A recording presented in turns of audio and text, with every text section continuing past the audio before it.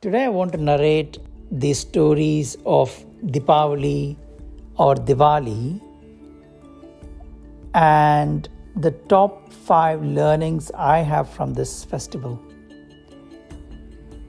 Diwali or Dipavali comes from the Sanskrit word Deepa, means lamp, and Avali is rows.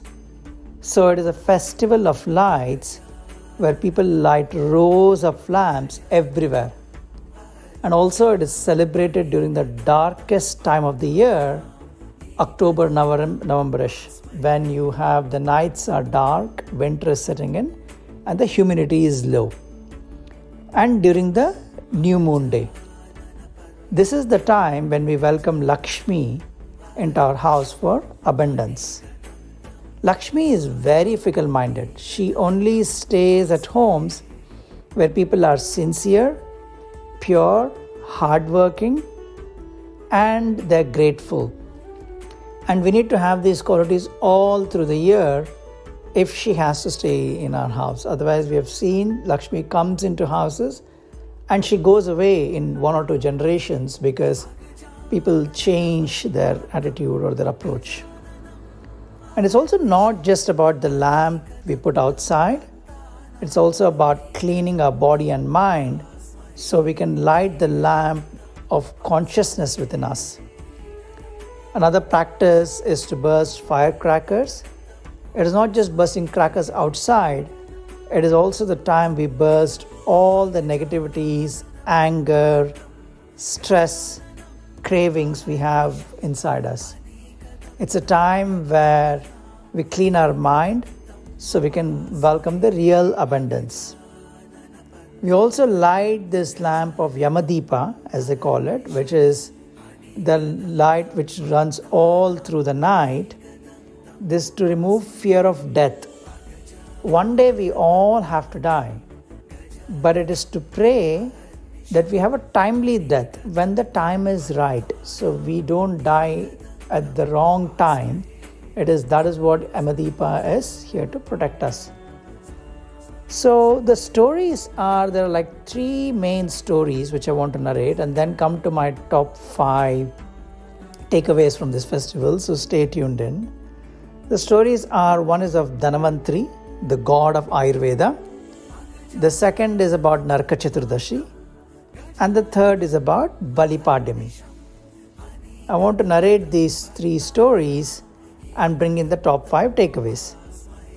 This festival always comes in Kartika Masa on the 13th day of Trayodashi.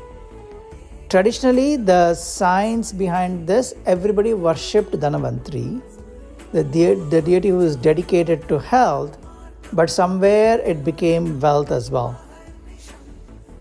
One of the things which is nice to see and observe is the difference between the northern India and the southern India is the way the syllable is pronounced differently.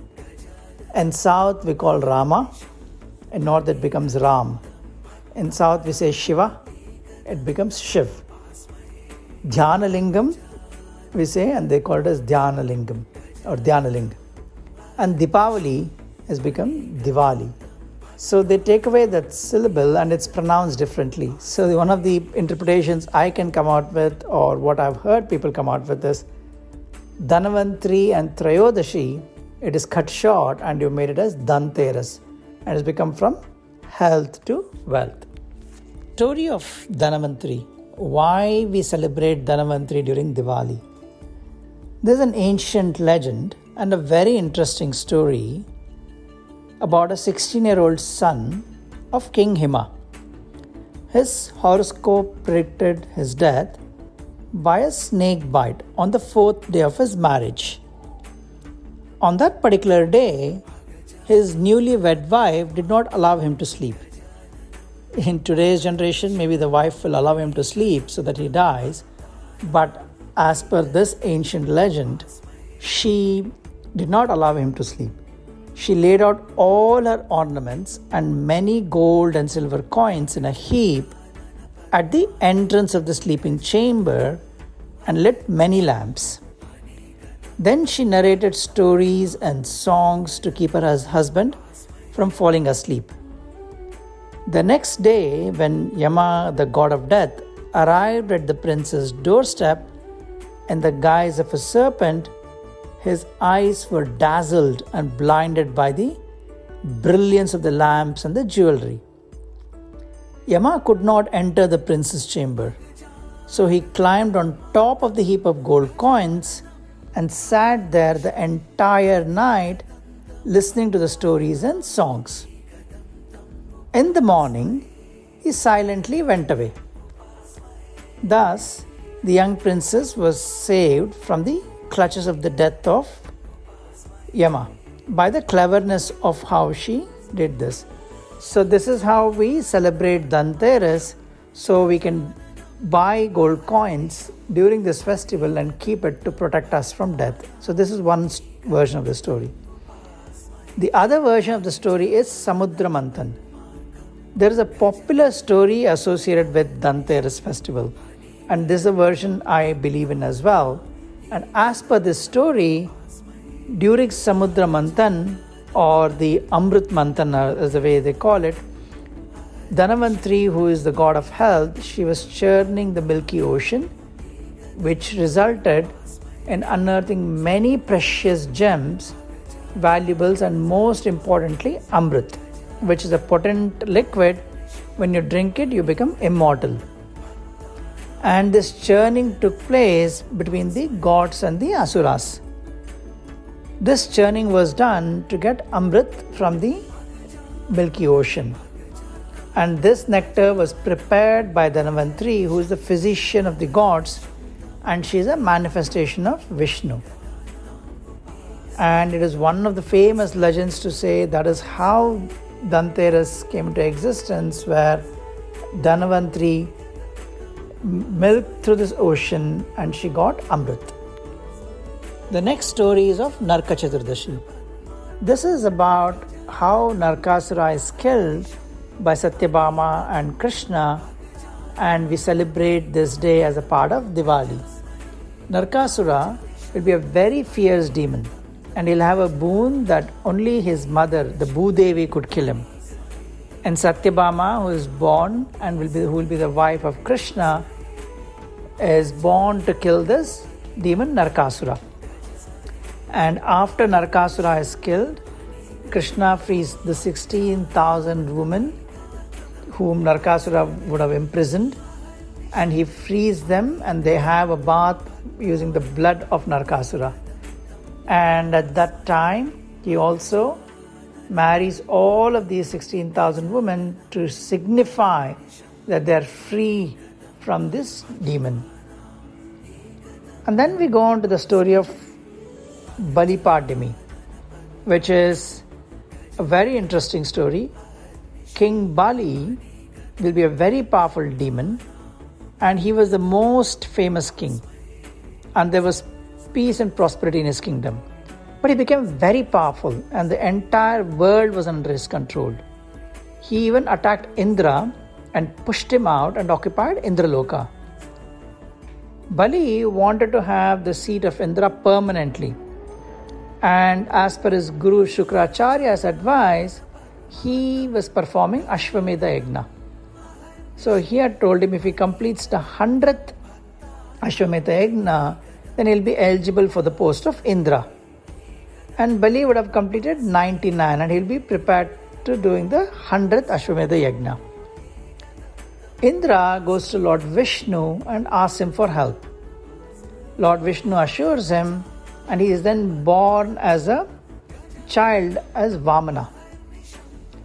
And he grows up very fast. But remember, Vamana is a dwarf, but he is an incarnation of Vishnu. And when Bali was performing the 100th Ashwamedha Yajna, Vamana comes to his yajna as a Brahmin. And King Bali came to Vamana and he did a Sashtanga Namaskara and prayed to him to ask what is the dhana or a gift he wants from him. He also told him that whatever Vamana demands, he will give that to him.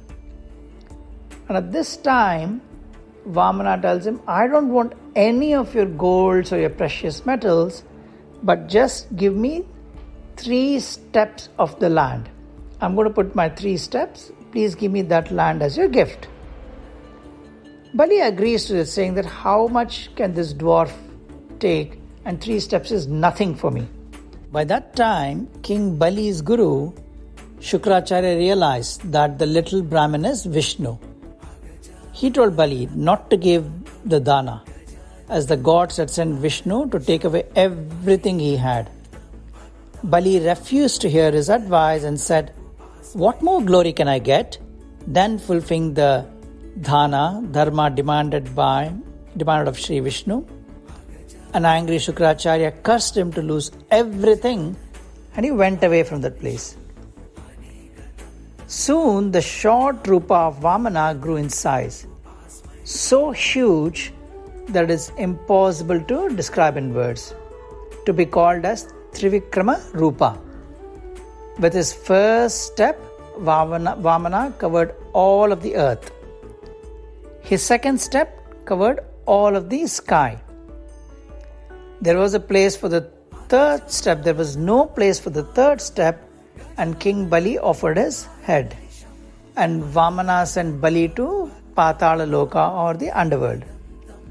He was also given the boon that he will be allowed to rule the entire universe for one day in a year, and on that day he can visit the earth, which is the Bali Padyami Day, the day of the last day of after Diwali. Here are the top five takeaways I have why we celebrate Diwali. The first one is why do we light lamps? Is it to show light to people who are away? Our ancients realized the biggest killer were the insect borne diseases, and they would come during winter months when we had low humidity to protect us, they found a very simple solution that was by lighting lamps during this period. And this, what this did, it not just killed the insects, but it kept our surroundings alive, which was much needed during the winter months, as you have a tendency of falling sick or getting depressed. All of that will go away when you're surrounded by light and your entire atmosphere is lively and active. The second is why do we make rangolis? And the beauty of rangolis is it has got a corresponding harmonic to every frequency. There are 28 patterns in which you can draw the rangolis. We have one for a new moon day, one for a, a full moon day, one for half moon day. Each of them attracted a different energy into our house. And that is what our ancients depicted is when you draw the right pattern of Rangoli on that day, you attract the right energy into your house. And the third for me is why do we eat so much food during Diwali? And ghee is, is there in most of the foods we consume. And also, it is important to know here is ghee is a natural catalyst and it provides natural fatty acids to our body and we are mostly brainwashed by these oil companies that ghee is unhealthy for us but actually a spoonful of ghee poses no danger to our heart and it also protects you from cancer and it's and it's also sold in the western market as clarified butter and our body during winter months need more calories and pure ghee not only gives you the body that warmth but also gives you that extra energy which is needed. The fourth one is what is the significance of story of Dhanvantari? We celebrate the god of health and Lakshmi, the god of wealth, by the woman of the house, and also killing of the Narakasura, and Rama killing Ravana, and Pandavas returning back into Hastinapur the Sikh Guru getting freed from the Mughals. All of this wanted to teach us at the end, good wins over evil. It may take time, but if you keep at it, you will ultimately win. A great man once said, Our ancestors thought everything through the stories. They wanted to depict through these stories, good will ultimately win. You should not have any doubt about it. If you are pure in your heart for love or happiness and you pray for it, you will get it. There is no second question about it. The fifth takeaway I have is Diwali connects you with nature. As some people say, bursting fire, firecrackers you break with nature. It is not true. The way our festivals are designed, it is meant to connect you with nature and celebrate the seasonal changes. Diwali celebrates welcoming the winter month. It celebrates good over evil, light over darkness, knowledge over ignorance. And if we are ignorant of our own culture, how can we respect, earn respect from others? We need to be proud of our roots and where we come from. And let's light that small lamp in our corner and make 1% of the world brighter. If all of us could do that, then the world, entire world will be a much brighter place to live in. We want to make this 1% of the world brighter by telling these stories at Mishti. I hope you like them. Please like, subscribe, and spread the word of this channel so we can tell more of these ancient stories.